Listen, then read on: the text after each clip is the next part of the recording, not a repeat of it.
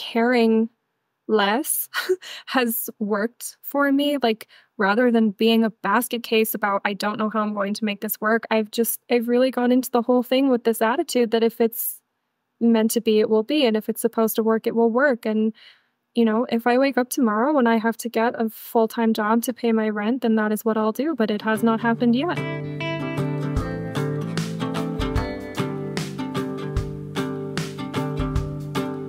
Hello, and welcome back to the Hannah Frankman podcast. On today's episode, my guest is Aquinnah Bree. Aquinnah is a full time freelance writer. She is a graduate of many different education modalities. She attended public school, charter schools, she was homeschooled, she skipped college to build a freelancing business, and she just released her debut novel. Aquinnah is also one of my dearest friends, and I am so excited to have her on the podcast and for all of you to get to meet her too. In today's episode, we talk about what it was like growing up, bouncing between lots of different kinds of schools. We talk about how she discovered her love of writing and why she decided to make writing a novel a core part of her high school experience. We talk about what it was like to skip college to build a freelance business. And we talk about the actual story that she tells in her novel, what the writing and editing process was like, how the story evolved, and how, in some ways, it's a direct reflection of the experience she had growing up from her high school years into her early adulthood. Aquinnah shares a lot of personal details in this conversation about her experience growing up with a very tailored and alternative education. And she talks about the through lines between the education that she had and the work that she does now and the art and the writing that she's put out into the world. And I hope that you find hearing her story both interesting and hopefully useful. Aquinnah Bree, welcome to the podcast. Thank you for having me. Aquinnah Bree, a published novelist. We finally, finally get to say that now. How does it feel to have a novel out in the world? A little surreal, but good. Like freeing. It's done. um, there's so much I'm excited to get into with you today. I'm so excited to talk about your unusual education journey. I'm so excited to talk about your unusual career journey as a startup person, as a freelancer, as a writer. Um, I'm really excited to get into the story of how you wrote your book. But I want to start with the education stuff because this is what sets the stage for everything else that you have done. You were anything but conventionally educated. Um, can you talk a little bit about your education background? Yeah, for sure. So, first orders, my mom was a speech pathologist, according to her degree. And so she worked in uh, mainly schools in New York as a teacher. Um, and she didn't have a particularly high opinion of the education system at large. Um, wasn't a fan of the bureaucracy or uh, just the way parents either were or weren't involved in their kids' education. And so she knew she wanted to do it differently with her own kids. Um, but it took us a little while to get started. There were years when I was in public school and I had a brother in charter school and another brother in like a private preschool. And we just kind of bounced around per year, um, deciding what was best for each kid that year. Um, it was never a decision that my parents just made. They always ran it by us. They asked us like what we would prefer, what would be better for our schedules. I personally took a lot of dance classes at very strange hours of the day by the time I was in middle school, I was training to be a professional ballerina. And so I had these awkwardly placed dance classes at like noon on a Tuesday. And it's very hard to be in public school if you have a class at noon on a Tuesday. So uh, by the time I was in high school, I was I was fully homeschooled, and Um, my mom was not a super hands on homeschool parent. She didn't have to be, she had fairly self motivated children. So I would pitch my own school year to her. I'd say, Yes, I will do the math that I am, you know, legally required to do. And I will do the history that I'm legally required to do. But also, I would like to do my own writing. And so most of the novel actually was written uh, initially on Tuesday afternoons after my Tuesday dance class. I called them Writing Tuesdays, and my mom just let me sit for hours and work on this book. And that was, she's like, honestly, I think it's harder than any writing curriculum I could give you. So just go for it. and it was it was the best year. I, I think I did that for a couple of years. I had that same dance class and that same Tuesday routine, and it was my favorite thing. And it was not a traditional education experience by any means, but it did get me here. So, what was it like to be bounced between different schools and modalities every year? Was that hard on you as a kid? Was it just what you knew and it felt normal? Or was it a little weird to be moving social groups and environments and like never knowing what next year was going to look like?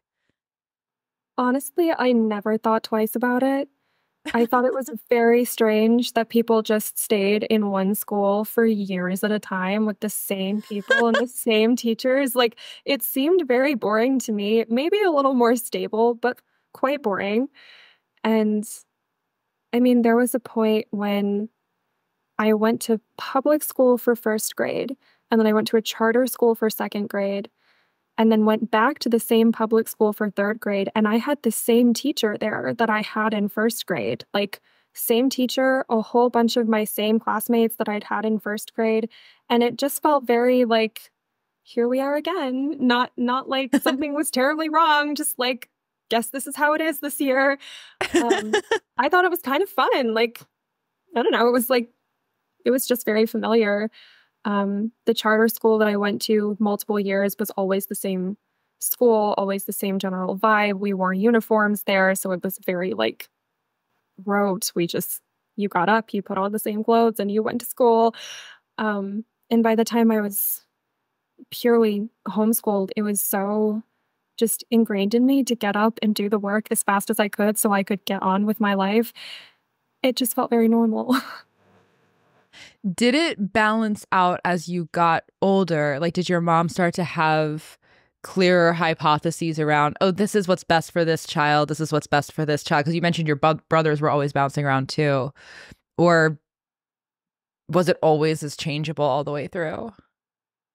I think by the time we were all in high school, she had a pretty good idea of what worked best for everybody.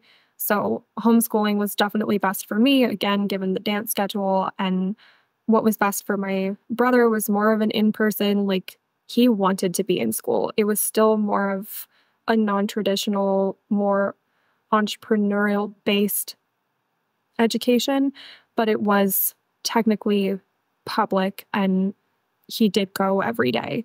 Um, so that was what was best for him. He likes being around people. And then for my other brother, he was, he wanted to be homeschooled. He wanted to do his own thing. He wanted to build stuff with his hands, which is not a super frequent thing in traditional education. He learns best with his hands. So for all of us, it was mm, slightly different, but we did get there by the time we got to high school. It just took a minute.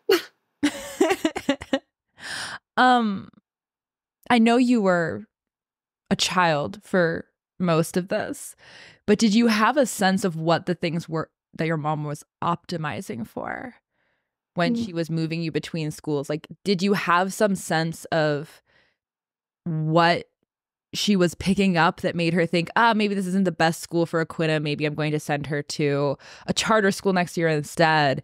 And also, how involved in the process were you? Like, were you invited into the conversations about what was going to happen, or were you just kind of told this is what you're doing next year and you were like, okay? Yeah, I think it was a little different for all of us, but for me, I, I made it very clear that I did not enjoy going to school. I did not enjoy getting up and going to sit in the classroom. I didn't enjoy the uniforms. I did not enjoy the homework. Most of it felt incredibly invaluable to me. Um, there were there were select cases where that was not true. I had an incredible sixth grade experience. I had a teacher I loved who just she pretty much let me do whatever I wanted. Um, what kind of school was that? That was a charter school. Okay. Um, so she she figured out pretty early on that I loved to write. And so if she assigned like we're going to write essays, they need to be one page. I'd be on my way out the door and she'd be like, "You can write more than one page, but I'm only going to grade the first one." so, and that made it so much more fun. Like I could I could really write. And honestly, like even if she only graded the first page, she gave me feedback on whatever I gave her. And it just by the end of my 6th grade year, I was a completely different person and writer. And so there were like there were select cases like that where I was very very happy to be in school. But in general, the whole routine of it, the whole like forced interaction with people my age who I just mm, I didn't have a lot in common with. I I got my social interaction mostly in dance class. I didn't feel like I needed it in school. Um, homeschooling was just I made it very clear to my parents that that is what I wanted to do, and they were very receptive to that. Um, but I think ultimately they optimized for something different in all of us. My brother wanted the social interaction of a more traditional go every day kind of school. So that is what he got. And we just, we flowed like that. How did your love of writing evolve through this process? Because you mentioned your sixth grade teacher being very formative. You also talk about during high school having your writing Tuesdays, which frankly sound idyllic. Um, I want writing Tuesdays. I want them back. but how did the way you were educated affect, if at all, your love of writing? Because sometimes it's very easy to go in a classroom and someone's making you write things that you really don't care about and you forget that it can be fun. Um, do you feel like you ran into places that challenged your love of writing? Um, and if you did, what are the biggest things that you felt like nurtured it and kept it not just intact, but thriving to the point that you wrote a novel in high school? Yeah. Uh, I think there were a few things at play. I really didn't know that I loved writing until I was in second grade. So I was in a charter school that year and we were assigned short stories. Everybody had to write a short story. I think they only had to be like a paragraph. And I think mine was probably in the realm of like five pages. I just loved it. Like it was so it felt so empowering to sit down and come up with my own story with my own characters and at that point i did not have this like gray fear of public speaking so my teacher was like who wants to read their story in front of the class? And i was like oh, hell yes. So i stood up there and i read my story to the class and it was like i was like wow i could feel like this forever. Like this is all i have to do. I just have to be a writer and it's gonna feel like this every day. So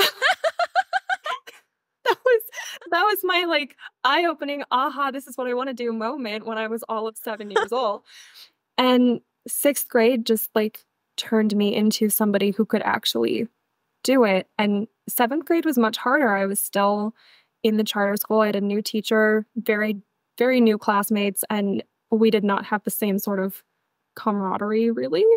Um so i was mm, a little distraught over the fact that I felt like a lot of the things we were writing we were not as fun as they were in sixth grade. And I didn't have the same sort of relationship with my teacher where I could be like, I know this is what you assigned, but also this is what I want to do. So can I do that instead? Um, so there definitely were moments as I'm like mm, regurgitating things I've learned from Shakespeare where I was like, I don't know that this is really what I had in mind for writing. Um, but through all of that, like seventh grade was when I really started digging into the novel. So I would have my writing Tuesdays, I would have weekends, I'd have, you know, when my homework was finished, and I would sit down and I would work on the novel. And something about being able to have the creative freedom to do that kept the fire alive, even though the stuff I was actually required to write was quite miserable. Tell me about being a pre professional ballerina. What was that like? Being a ballerina is uh, very, very hard.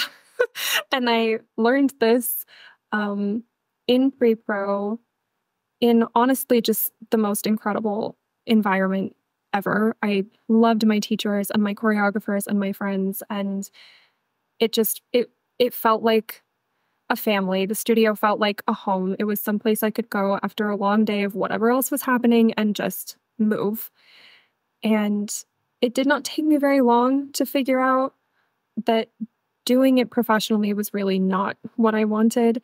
And then that kind of got taken off the table for me when I was, mm, I think, 16. I got tendonitis in both of my Achilles, and that was it for my uh, professional aspirations.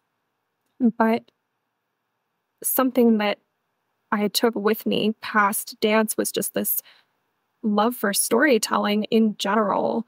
Um, I I didn't see for a long time the through line between ballet and writing, but ultimately it's it's the storytelling, and I have never super cared how I get to do that, whether it was on stage or on paper. They feel very similar to me. And in fact, I I ran an experiment. I think when I was a senior in high school, I decided I wanted to start taking piano lessons to see if it also felt the same, if art is just art across the board and we're all just storytelling and it all feels very similar. And it did. Like by the time I could actually play through an entire song, I was like, wow, this is exactly the same feeling as dancing and writing. When you're just in the flow with something, it is the same feeling. So I'm sure that more left brained people also experience that flow state with whatever they're doing, but I have never experienced that. It's always been more artistic, creative stuff that has taken me there. And that is really what I took away from dance, even if it wasn't a professional career or something I was meant to do forever. Um, it did, it taught me so much about what I do now. So the novel, you say right in the description of the novel, I believe, that it was rewritten multiple times. Um, three, I believe, completely. Uh, so it is not the same thing that was born while you were doing your writing Tuesdays after dance class. Where did the story start? Like, how? I'm so excited to get into this the evolution of a novel. Where did the idea first come from? What did it look like at its inception? Maybe we can fill in what it looks like now just for context, or maybe we can get there later in the conversation. I trust wherever you want to take this. But what was that first novel that you sat down to write when you were in high school? And also, why did you decide to write a novel? Yeah. So I mean, for starters, I did not sit down to write a novel. I sat down to write a story because it was in my head, and I had never finished like a long form project before. I'd written a lot of short stories, and I also had a lot of unfinished, like, this could be something someday, but it's not really right now, and I'm out of ideas. So, like, we're just going to shelf it. I think all writers have that. Um, mm-hmm. But the idea for it came to me, I think, sitting in the passenger seat of my parents' car. Um, I just, I had this vision of a couple of characters who were sitting by this pond that shows up nowhere in the book, never did, never showed up. Just these two characters. And I was like, oh, I want to meet them, want to figure out what they're about. And so I sat down to write a book about a woman who could communicate with the wind. And I've always been very inspired by nature and the natural world. And this just felt like a good starting point for a story that I could do something with. Um, didn't really expect it to go much of anywhere. And here we are 12 years later. So some things just pan out when they're supposed to. But yeah, it took me a solid, I would say, year to write the first draft during my writing Tuesdays and random other moments I had. And I lost about 80 pages of the first draft to a laptop virus that just wiped out everything. So I I had to mm, start over. Um, but it was it was such a phenomenal experience just to write something longer than I had ever written before and have to like fill in space that I hadn't had to fill before. And I remember emailing my sixth grade English teacher who had so helped me and just being like, I have this finished thing. What do I do with it now? And I thought that the response was going to be something along the lines of, Well, let me see it, because that's what she had done with a lot of my work thus far. And instead, she was like, I think you should open a new document and write it again. And I was like, that is so not what I wanted to hear.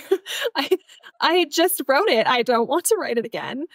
Um, but it it wound up being so freeing to just like have this finished thing, but also open this brand new document. And again, I just took another year of writing Tuesdays and other random moments and rewrote it. And it doubled in length. I filled in the plot holes. I adapted the characters to the world I had created, knowing more about the story, knowing more about what I wanted to do with it, I was able to really expand on it and flesh it out and make it something that I would want to read.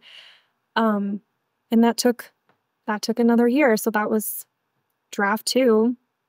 And then I let it sit for a while because sometimes you just need a break from the thing that you've dumped a couple of years of your life into.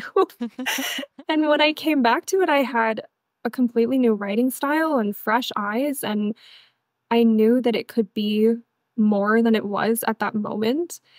And that was around the time that I joined Praxis.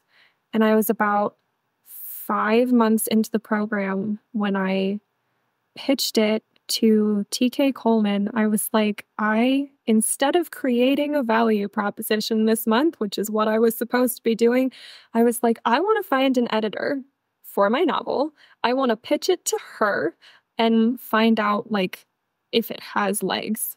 And he said, go for it. So that is what I did. I took about a week it took me to find an editor who I really liked and felt like I could trust. And our styles were very similar. She just she was just a yes. So I went ahead and started working with her. And that was the third draft of the book. I rewrote it based on her feedback. She had given me some very concrete, just notes on character development and where the story was currently versus where it could be. She was like, You have like 30,000 words you could add to this and just like make it the thing that you want it to be. She's like, I can tell you're so close and it just like hasn't gotten there yet. And I'm 18 years old at this point. This is really the first time in my life that I have the kind of experience required to write the story that I knew it could be. So I did. I sat down and and rewrote it and then I did another round of edits with her and rewrote the final act a fourth time because I knew it was not where I wanted it to be, and it was so close. So, three drafts total, four drafts at the end, um, and it finally became the thing that I wanted it to be, the thing I knew it could be all along. But you're not 18 anymore. no, it's I- been a while since you did the third rewrite. Mm-hmm. What happened next? So there was a gap where I let it sit because I was deciding whether I wanted to uh, self publish or pitch it to agents. And I was very up in the air about this for a couple of years. And then I also had a very rough um, personal couple of years where I just did not even have time to think about this. So it did a lot of sitting, collecting dust, metaphorically, on my laptop. And when that, you know, rest period was over, um, I was talking to one of my teachers and he was saying with great certainty, like, it's time to let this go. You can do it. Like, it's time for it to be out in the world. And I was like, How do you know? And he was like, I can feel it. And he was like, Can't you feel it? And I sat there and I was like, Yeah, I guess I can. And that was about that was a little less than a year ago. So I have been, I have been in it ever since, just getting it ready to send out into the world. Um, just smaller things, giving it, you know, finalizing the title, giving it a cover, making sure that like all of the people I wanted to include in the acknowledgments were in there, um, which they're absolutely not. I could have named every single person in my life because it's been a 12 year project, but I did my best. Um, it's it's so weird to have it be finished and also I never doubted that it would get here once I decided that that's what I wanted to do. Today's episode is brought to you by the John Galt Mortgage Company. I promised myself when I started the show that I was never going to have a sponsor unless I could truly endorse what they are doing. And that could not be more true for the John Galt Mortgage Company. My friends Mitch and Tim started the company earlier this year after working in the real estate world for years and realizing that mortgages are way more expensive than they need to be. Most real estate agents don't actually know how much extra profit is baked into the cost of a mortgage. So Mitch and Tim started a new kind of mortgage, one where they cap their own profits on every transaction and pass the savings along to you, the buyer, in the form of a lower interest rate. If you are in the market for a house, I absolutely recommend checking out what Mitch and Tim are doing. You can find more at www.johngaltmortgage.com or you can find the link below in the show notes. Okay, back to the show. How much did the story change from the first draft that you wrote when you were how old? I think I was 13 when the first draft Okay. Done. The first draft that you wrote at 13 to the final draft that you wrote at 18 to the edited version that is going out into the world now. Are there even pieces of it that are the same besides the characters and like the rough story? Or like are there entire passages that have remained intact? Or is the whole thing like a new book? This is a good question and i think about it a lot because i'm not sure anymore i think most of the first like it's split into three parts and a solid chunk of the first part is very similar to what it was when I was 13. The language is different, it's stronger, but the basic plot is the same. Once you get further into part two and certainly part three, nearly everything is different. I think everything in part three is different than it was before. Um, most of it is the same as it was when I was 18. There were a couple moments, um, just like intermittent editing when I was in my very early 20s where I would be like, this scene needs to be slightly different. And I think there needs to be a new scene here. And I maybe don't need this one. But across the board, the end has been mostly the same since I was 18. How do you feel like you and the book grew up together? Like, I imagine as you're going through the tumultuousness, which is adolescence, and as you're entering into adulthood, your perspective on the world changes quite a bit. Your grasp of stories and their flow changes quite a bit. Um, how do you feel like those things went worked in tandem? Because I imagine like working on the book also affected you quite a bit. Yes, I love this question. so, the book has four major themes, and I think I uncovered a different one of them every time I rewrote it. So, there is an element of the book where the main character is being forced to leave the only home she's ever had, only home she's ever known. And to her, it is this great inconvenience and stressor. And in fact, it is giving her her freedom. And I did not put this together until I rewrote it the first time. I was like, wow, this is so good for her. She gets to be free. She gets to go find out who she is outside the confines of her regular, normal life. And I think at that point, I was I was probably 14. I was craving that kind of experience just of like experiencing a a freedom I had not known before. I had a very rigid, like this is when I do my schoolwork. This is when I go to dance class. I'm at dance class for four hours and then I go home and go to bed and I'm exhausted and I'm, and I'm going to do it again tomorrow. Like that's it. Um, so writing the book gave me a certain level of freedom just because I got to almost like live vicariously through these people I had created. um, so there was there was that. And then the second theme that kind of unraveled with time was this idea that you can choose your family. And to be clear, I grew up in a wonderful family. I never felt like I needed another one. Um, again, my my dance friends felt like family. I grew up choosing my people and loving them, and also just like having them put in front of me. Like, here are these people who you're going to adore forever, and just never had a problem with it, but I I didn't know how important that was going to be to the story until I realized that's what was happening. I was like, "Oh, she has her freedom and she gets to choose her family. And yes, they are blood related to her, but she had never met them before. So now she's here with her aunt and her uncle and her cousin and she gets to experience life in a new way with these people and and this is her new family." So that unraveled. And beyond that, I I moved a lot as a child. We moved just about every year and usually within like a few miles of the last house. Um, I did move across the country three times, I think, before I turned 12. So there was some like major back and forth.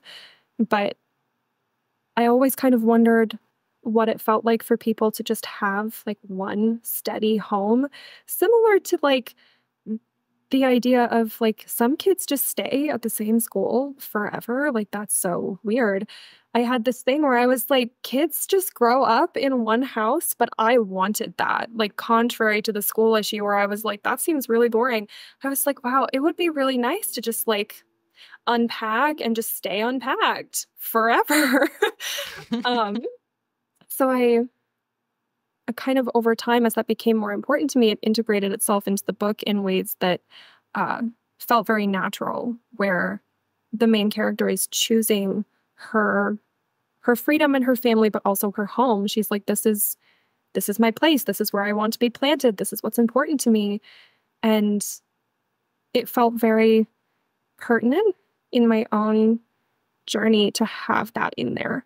So that was the third thing. And the final thing to unravel was like what felt like the point of the book and the thing that I had been building up to and just not quite grasping because I hadn't figured it out for myself yet. But it's this question of whether or not people are intrinsically good. So you have this this girl who can communicate with the wind. It's this very powerful thing, but it's also deeply frowned upon by people who are very close to her. And so she spends a lot of time grappling with this idea that, like, maybe this makes her a bad person or a danger to society. Like, this is something that people are giving her looks about. So, like, maybe it's her. And it's a fictional way to kind of look at are people intrinsically good? Are they intrinsically evil? Does it matter? Um, and it is something that I grappled with myself as a child, just based on the way I was raised. I I very frequently wondered, like, are we good? Do we do? Is there something we need to be saved from? Do we need to save other people from something? And uh, that is what the book unpacks over over the course of um, you know, it's like 33 chapters. Um, are we good? Does it matter? In tandem with writing your book, did you study the art of writing novels? Like, how did you learn how to do this? Mm. And was it a very, I'm guessing by the way you've talked about this, that it was a very self directed process, but I'm curious what it looked like. Or did you just read a lot and then you sat down, you're like, okay, I've read a book. Like, I know how to write one. I did a lot of reading as a child. It was outside of dancing, it was my number one hobby. I loved it. And I had read particularly a lot of fantasy novels, which is what mine is. Um, and so it it just felt very natural to one day sit down and be like, I can do this. But like people do this every day. I love that. And that was literally it. You weren't ever like, I'm going to go read books on writing or I'm going to go like study plot structure or anything like that. You were just like, this is in me. I can do this. And then you did. I have read very few books on writing. I honestly I find them very boring. I think it's very sad that there's like a recipe for writing a book. Um I mean, I I studied the hero's journey and how that, you know, progresses, but that was more like I had to do that for work. Um, I was writing podcast scripts at a certain point and we were using the hero's journey as a template and i found it very restrictive which is why i don't use it myself. But like in studying those things that i that's what i learned. I was like okay well this one's not for me. The most value i've really gotten out of um, a book on writing so to speak uh, probably came from elizabeth gilbert's big magic um, mm. which is really kind of fluffy. Like it's a beautiful book and I love it, but it doesn't have this like, and this is exactly how your creative process should be. It's more like you can you can do what works for you. You can write the book that you want to write. You can make the movie you want to make. And I was like, yeah, everybody should think like this. You're being creative. You literally get to be creative and make yes. it up. Yes. I find that really interesting, actually. As you know, I was also a very bookish and uh, writerly, I'm totally making up words now, little kid um, and teenager. I also spent my middle and high school years with writing being my favorite thing to do. For me, I didn't have like a day of the week, but I had like a time slot in the day where I didn't have my own computer yet. And so I had to use my mom's. And she did a really great job, sort of like setting sort of guardrails around just like practically. It's like we're doing other things before lunch, and then I don't need my computer after lunch, but then later in the afternoon, I'm going to need it to do things. So you have this very finite window, just logistically speaking, within which to write. And I found very quickly that I preferred writing on the computer because I liked being able to work non-linearly. It really bothered me to have to like I'd finish a paragraph and I'd be like, but I forgot a sentence in the middle. Like there's something else I want to say. And so it would get very messy very fast and like working non-linearly, just like really I could write like a piece of a scene here and a piece of a scene here and then do the through lines later and just like sketch it all out. Um but I loved reading about the craft of writing. There was this uh, children's and YA fantasy author named Gail Carson Levine. She wrote Ella Enchanted and The Princesses of Bamarre and a few other really amazing fantasy books for kids. Um, and she had a blog where every Wednesday she would answer a reader question. So you could ask her questions in the comments, and then you'd get so excited when she'd write a blog post answering your question. Um, but every week she would write a piece on writing and she would write about like you know, you'd ask a question about character development or like designing a scene or like how like I'm writing the story and like my character like I can't like make these characters like th- th- threads actually work and like how do I fix it? And she also had this really great book called Writing Magic that was about writing for like teenagers who wanted to write. There was another one called Spilling Ink. I'm trying to remember the names of the authors who wrote that one. It was two women. Um, but my mom did a really great job finding these for me, and then I just like ate them up like they were candy. I just loved them. My my copies are in tatters.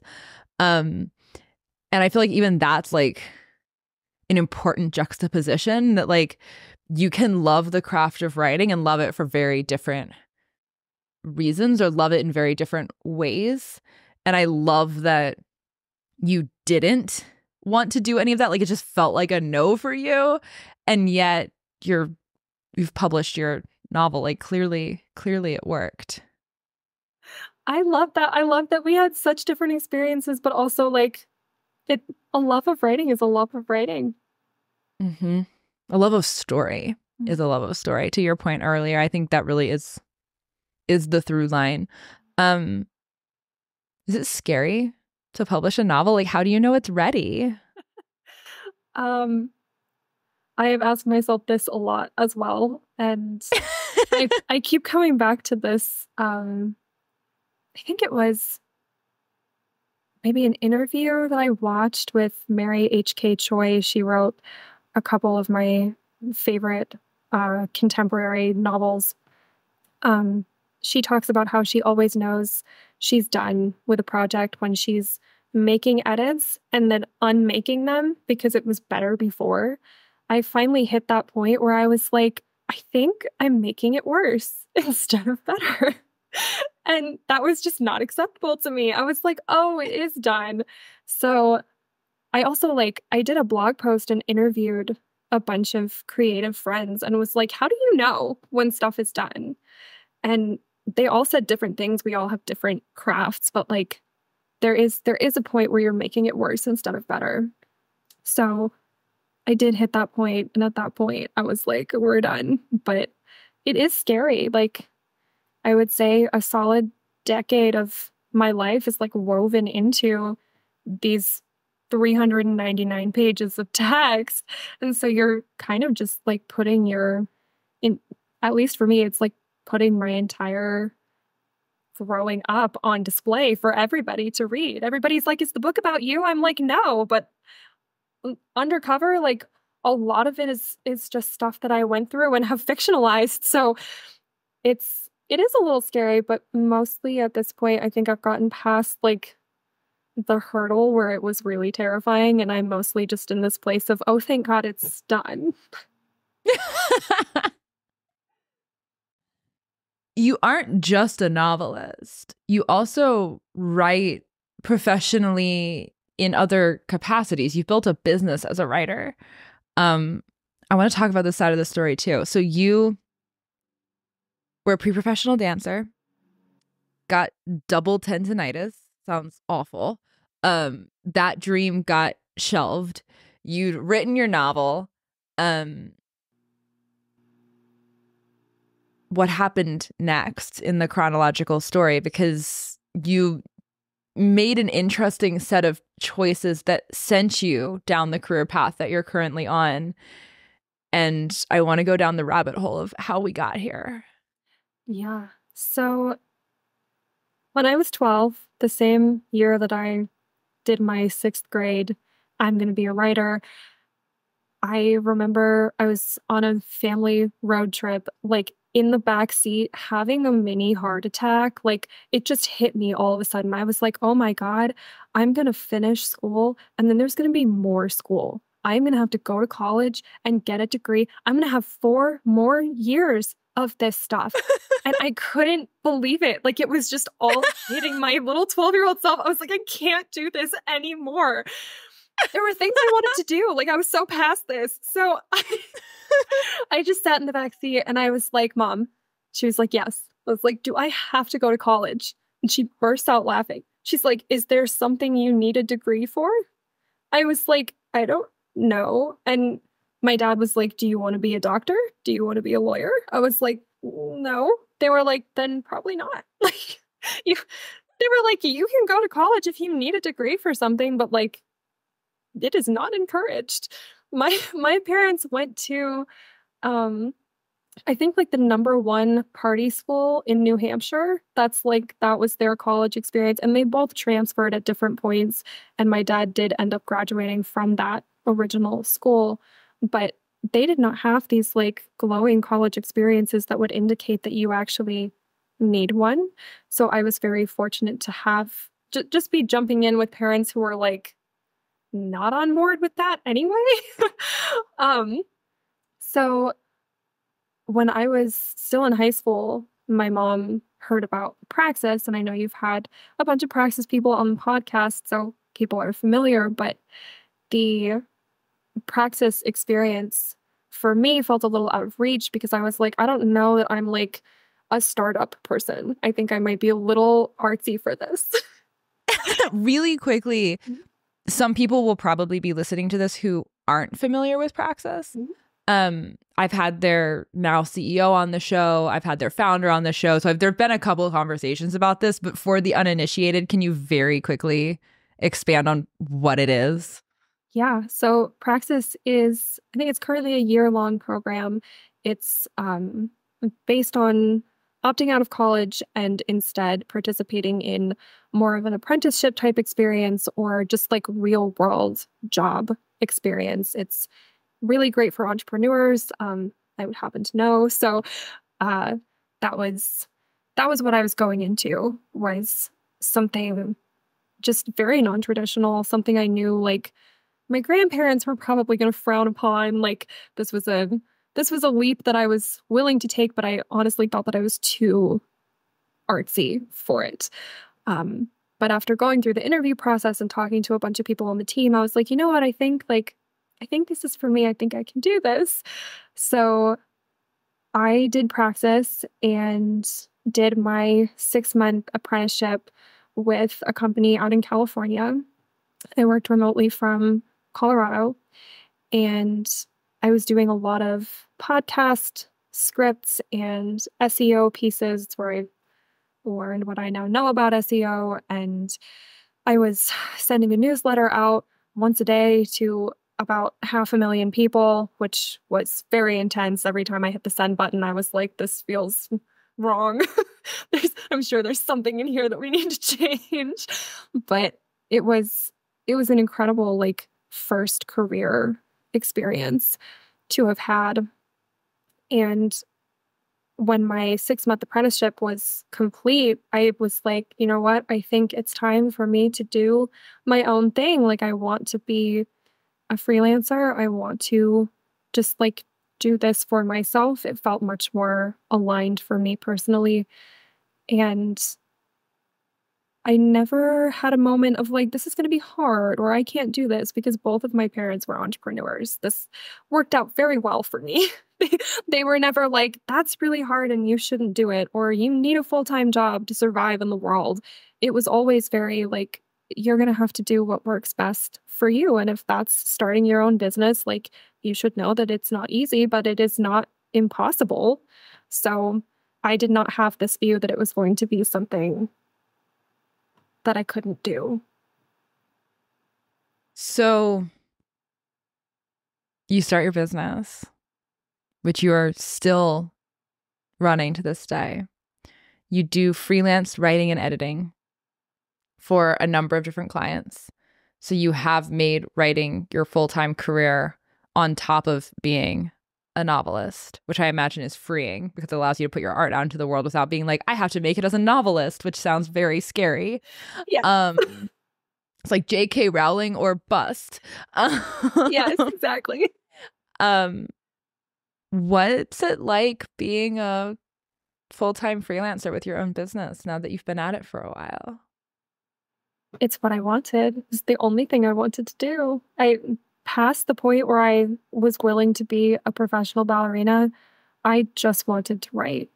So I was willing to rack up experiences at the beginning that I maybe was not like overly excited about, but I knew that any experience was good experience. And at a certain point, I did transition into more editing specifically because it is copywriting is hard. Um, writing for clients is hard.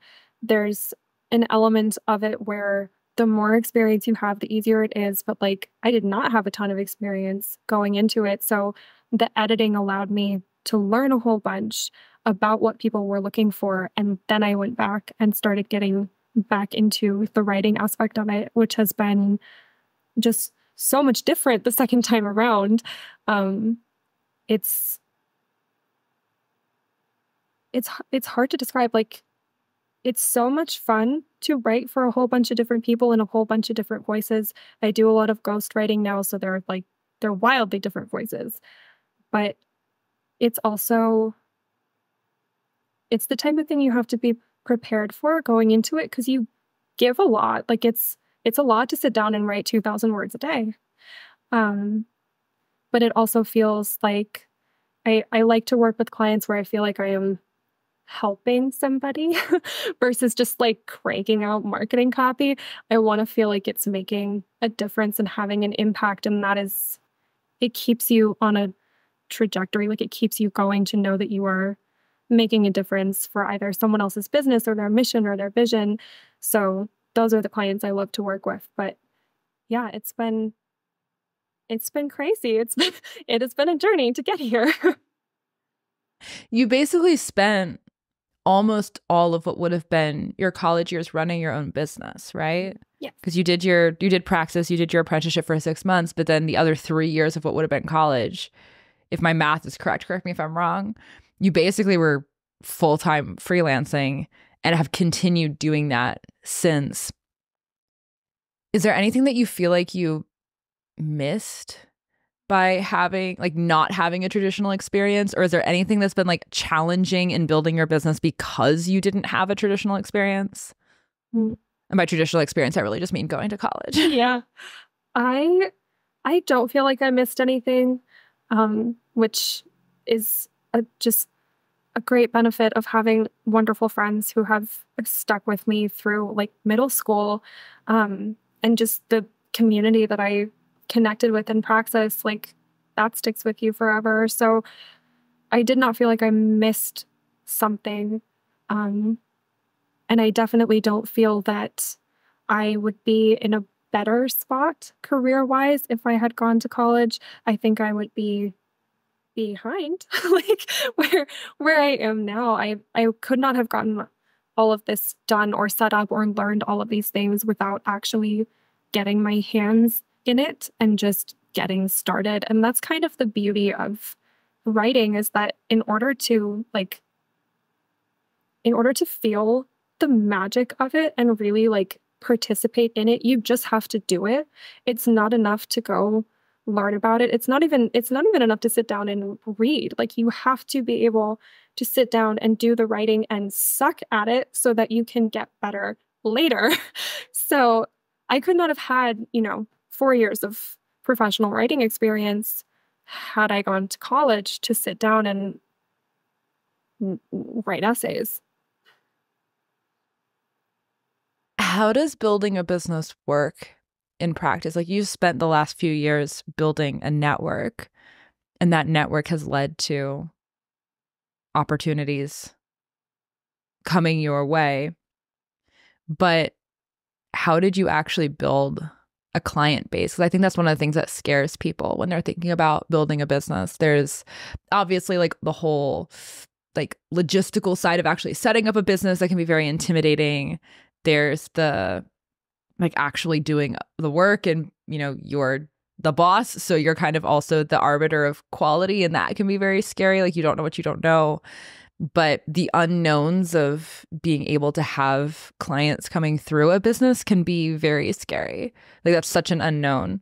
Um how did that work for you? Yeah. I always say that i'm the worst person to ask about this because it's true but i will tell you i had the just great fortune of having all of these connections when I graduated from Praxis. Um, my first client was a Praxis advisor, and I got my next opportunity from a Praxis advisor at the company that they're with. So it was it was kind of smaller projects building on top of one another just with people I knew and trusted me already. And I have been able through that like consistent building on top of one another to create a business that grows solely based on word of mouth. Um, clients come to me. I have never had like a, oh my God, where is my next person going to come from? Like, give me my next victim. Like I just never had this this moment of wow, this really isn't gonna work. Like I can't do this. People just um have come to me. I am so like fortunate to have worked with people who I just really connected with. And so when we're done with a project, if I just edited their book, they're over here talking to their friend who's also an author and they're like, oh, I need an editor too. And they're like, you should work with Aquinnah.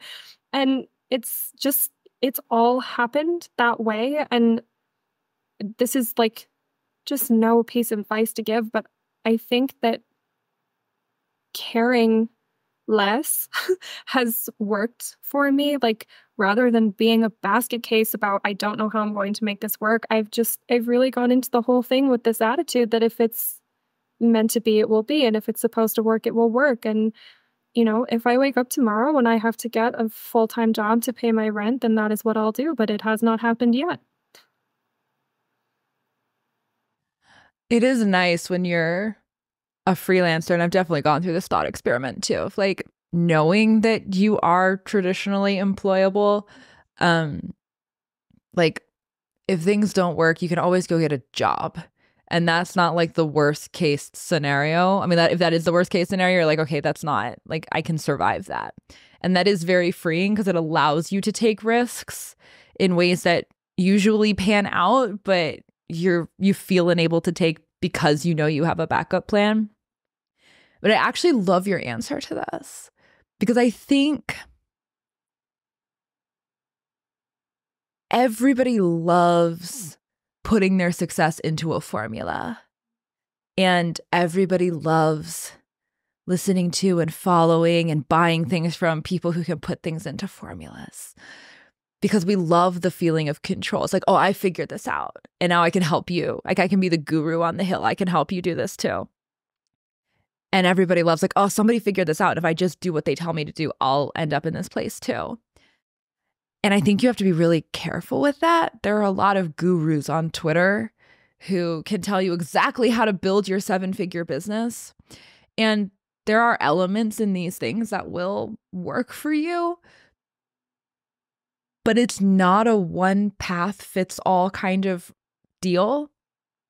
And there's no guarantee that if you do all the things and check all the boxes that you'll have the same success. There's a level of emergence and a level of sort of spontaneous synchronicity that occurs on your path when you're figuring out how to build something or how to get somewhere that you can't control for.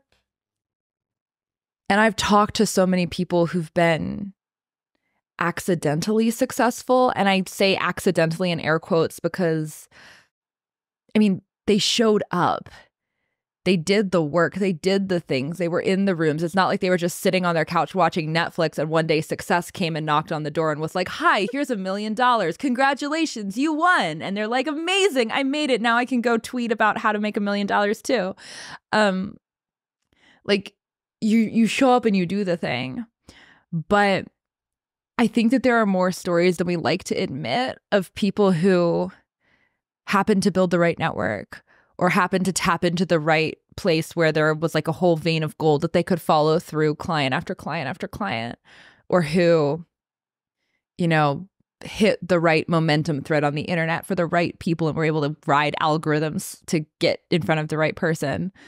Um and so i don't think that approaching it formulaically is correct. I spent a lot of time thinking about this because I've struggled with this too as somebody who runs her own business and does her own creative things. Like, how do you know who to listen to and who not to? But I love the way that you tell your story because it's so within the realm of possibility that a young person can say, I don't want to go to college. I want to start a business. I'm just going to focus on networking or like not even intentionally networking, but like getting in rooms where it feels like there are people who can help me, but maybe I can help too and who feel aligned in their interests and their goals.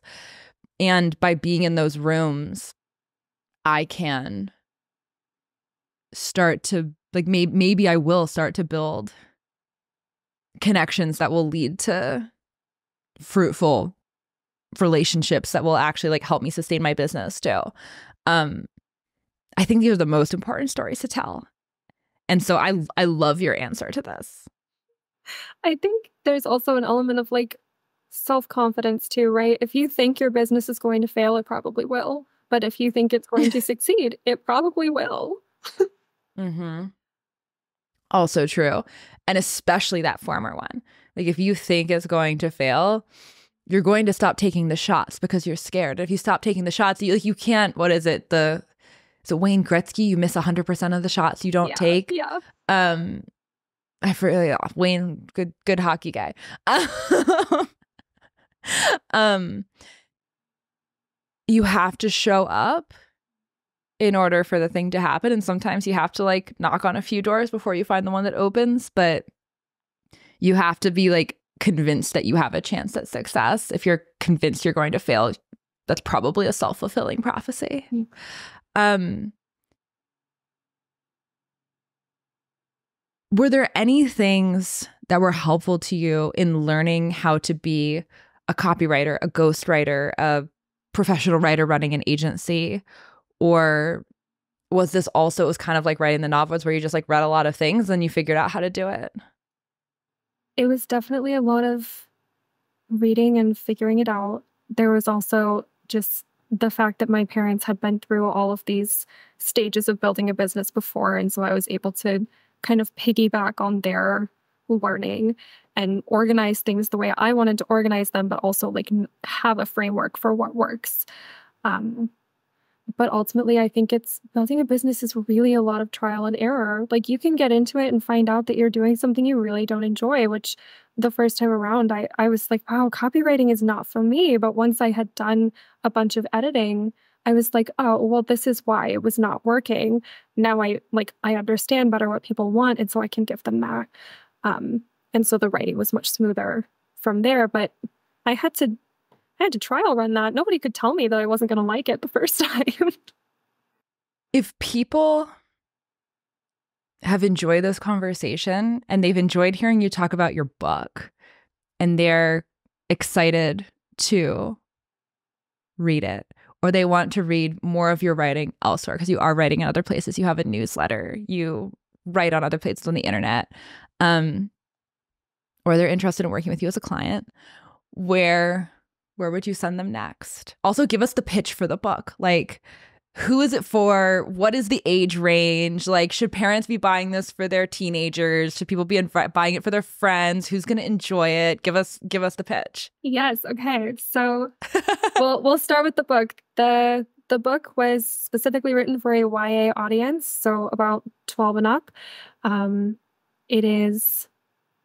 It's a fantasy novel. So if you like magic, if you like fairy tales, um, or if you just are curious what it would be like to speak to the wind, that is who the book is for. Um, I did write it for my teenage self. Um, and so that is who I'm hoping it appeals to. I have heard that it is for all ages so far. So happy to hear that. Um, it is available on Amazon, on Apple Books, on Nook, and on Kobo. Um, and you can find me all over the internet, but um, the easiest place to find me is at aquinnahbree.com. That is where all of my social links are. It's where the newsletter sign up is, where the blog is, where you can read about um, my services and contact me. That is the best place to be, is aquinnahbree.com. Aquinnah, it was so fun to finally have you on my podcast. Thank you so much for being here and for sharing not only your story, but the story that you crafted through your story and about your story. Um, for sharing your writing process with us, your career process with us. This has been a really fun conversation and hopefully, and I imagine it will be, helpful to families and young people and people who aren't young anymore, but who want to follow their dreams of being a writer. Um, hopefully, people find this very helpful. Thank you so much, Hannah. This was so fun.